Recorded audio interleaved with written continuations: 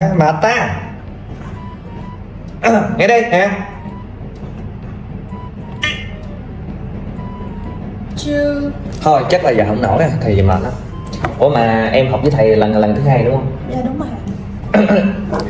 Ờ, lần thứ hai em hay quên quá. À quên. Gửi thầy thiệt em nhiều khi em xúc phạm với tôi quá. Tôi dạy tôi nói là bằng cái tâm cái nghề cái cái sự đam mê và nhiệt huyết của tôi. Tôi tôi lấy mấy cái này làm gì?